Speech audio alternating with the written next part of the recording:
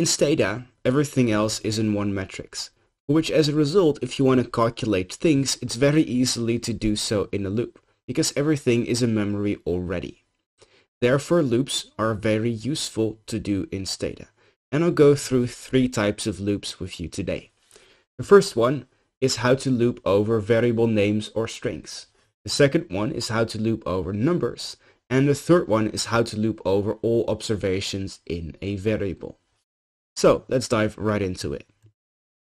We open back up again our auto file. And if we want to make a loop, we would use a syntax in the following way.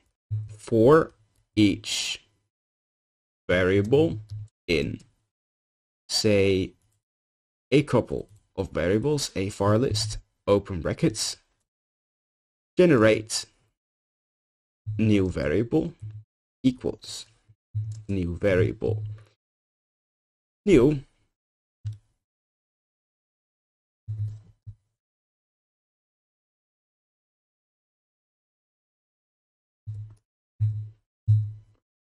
So what this command does, first of all, you start up the loop for a string or a variable, which you do with the foreach command.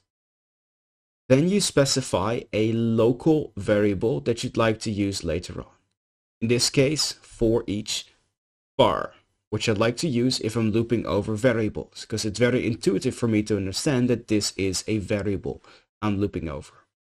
Then you use the in command to, let's say, to recognize you're importing a variable list, and then you can put any number of variables here you open up the curly brackets and press enter. Now anything between this first curly bracket and the next curly bracket is seen as part of the loop. So it doesn't need to be one line as is here. You can also have 20 different lines there or 100. It doesn't matter. As long as you close up the loop at the end. Otherwise Stata gives you an error. So at the second line, I say generate a new variable which I denote with the dot var dot thing. If I would change this into name, I would here have the two dots and name in the middle. And you can use this as many times as you'd like, but only within the loop. Outside of the loop, the variable doesn't exist anymore because it makes a local and it destroys that one later on. So I generate a new variable that is equal to the previous variable divided, by 100 and then I use the curly brackets to close up the loop. So if we now give us the summary statistics of these variables, you'll find that they are a hundred times lower than before.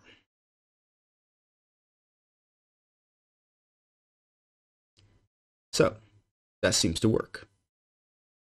Now, what you'd like to do, in addition to looping over variables, you can also loop over strings. You would basically do something like this and then have some specific string there, whatever you like. This can be useful in instances where you have a variable that looks something like this. So trunk, weight, or length, and you want to loop over all of these variables, but not over all of these other ones. So then you could loop over the string underscore new and calculate the command for all of them. It's an easy way how to do that. Now you'd like to loop over a number. What you would do is for values, which let's they recognize that you're looping over a number, value equals 1 to 10. This syntax is slightly different than before. So use forvalues as opposed to foreach then I just call it a value because it's not a variable. But you can also still call it a variable if you'd like. And then you need to use the equal sign and then something that looks like a fraction, which means starting at 1, going from 1 to 2 to 3 to 4 to 5 to 6 to 7 to 8 to 9 and ending at 10. And again, the, the bracket commands. So now I can generate a, say, this variable the length variable underscore value is equal to the same length variable divided by the value. So you can use it both in appending part of a name and as a value, an integer itself. And then you close up the bracket. And now you see that we have 10 new variables, which are all divided by the old number. So let me also just add in the normal length here. And you see that here they're the same because they're divided by 1, then by 2, by 3, by 4, by 5, etc. And now the last and most complicated type of loop. You can loop over all parts of a variable. And this is very useful at times. So what I do here is I tell myself, look levelsof the variable foreign and make me a local that is called levels. Then I will loop over the variable, that's the new name I give it, of the local of levels. And then I have a command that I'd like to use, say summarize the trunk size.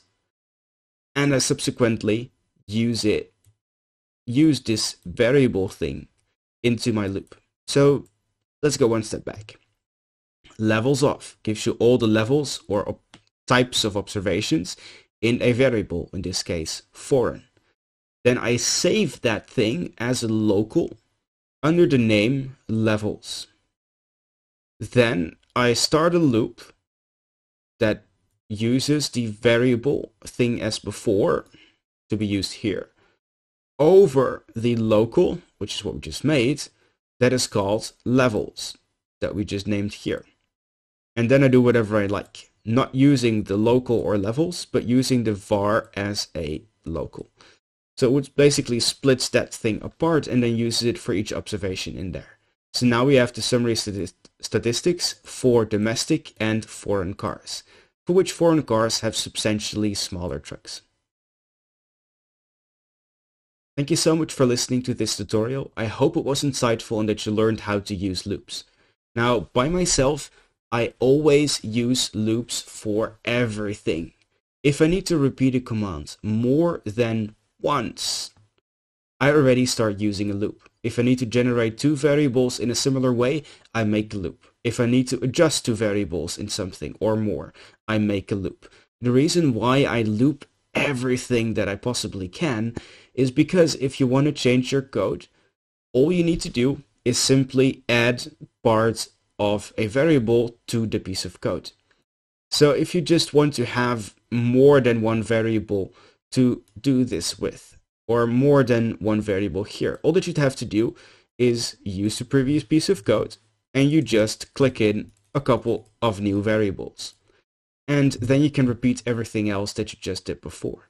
So it's very efficient to use these operations. You can very efficiently adjust your code by having loops because it's very transparent what they do and you don't need to copy paste stuff all the time, which is something you should prevent at all costs. Thank you so much for listening and until the next YouTube tutorial.